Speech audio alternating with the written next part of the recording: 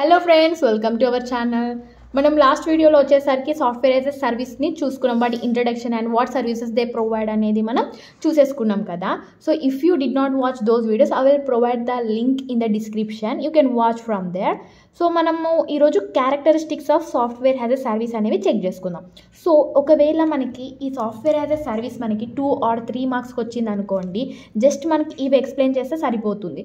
లేదు they gave for a long answer like five or eight or ten మార్క్స్కి ఇచ్చారనుకోండి first software as a service అంటే ఏంటో definition రాయండి. నెక్స్ట్ వాటి అవి సాఫ్ట్వేర్ యాజ్ ఎ సర్వీస్ ఏం సర్వీసెస్ ప్రొవైడ్ చేస్తుంది? ఆ సర్వీసెస్ ఎక్స్ప్లెయిన్ చేయండి. నెక్స్ట్ క్యారెక్టరిస్టిక్స్ ఎక్స్ప్లెయిన్ చేయండి. ఎందుకంటే పేపర్ వ్యాలిడేట్ చేసే వాళ్ళకు కూడా ఈజీగా అర్థమైపోతుంది అనమాట okay he has a clear understanding and వాళ్ళకి గుడ్ ఇంప్రెషన్ వస్తుంది. He has a overall understanding of software as service అనేది మంచి ఇంప్రెషన్ వస్తుంది అనమాట so next get in to the topic next ఏంటంటే మనకి ఈ సర్వీసెస్ ఉంటాయి కదా. సారీ క్యారెక్టరిస్టిక్స్ ఉంటాయి.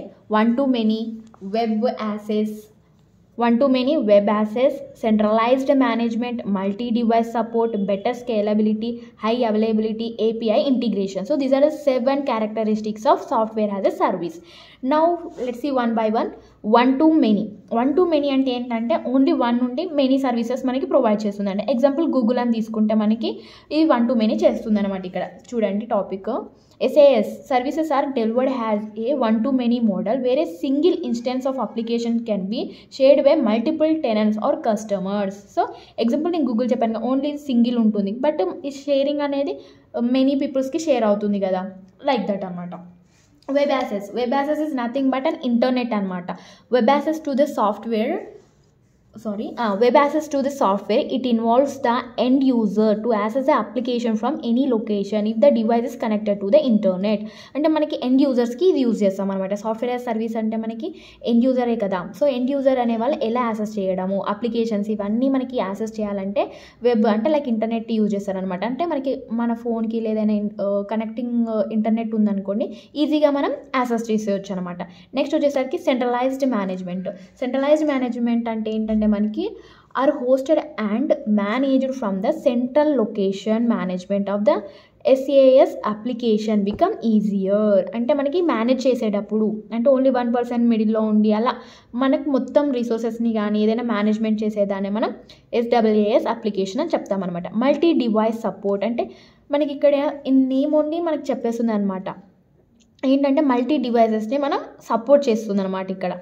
SAS service can be accessed from any end user devices such as desktop, laptops, tablets, tab అంటే టాబ్లెట్స్ అంటే మన మెడిసిన్స్ కాదు like mobile tab smart phones and thin clients so these are the multi device support next better scalability since most of the SaaS services PaaS and IaaS for its development and deploy management so ఇదనమాట మనకి high availability ensure the మనకి availability అనేది మోర్గా ఉండేలాగా చూసుకుంటుంది అనమాట ninety nine point ninety nine percent ninety nine point nine nine percent వరకు available అనేది యూజర్ డేటా అనేది మనకి బ్యాకప్ అండ్ రికవరీ చేయడానికి మెకానిజమ్స్ ఇంప్లిమెంట్ చేయడానికి బ్యాక్ ఎండ్లో మనకి అవైలబిలిటీ అనేది యూజ్ చేసుకుంటాం అనమాట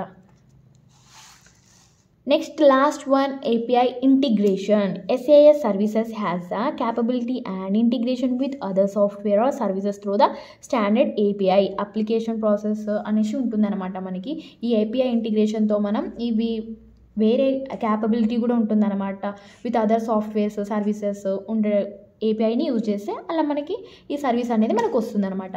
So these are the seven characteristics of SWAS software has a service so మనకి జస్ట్ ఫస్ట్ అయితే మీరు ఈ నేమ్స్ని గుర్తుపెట్టుకోండి. నెక్స్ట్ మనకి ఈ మ్యాటర్ అనేది మనం ఎలా అయినా ఎలాబరేట్ చేసేసి రాసేయచ్చు అనమాట మనకి నేమ్ తెలిస్తే మనం ఈజీగా రాసేయచ్చు.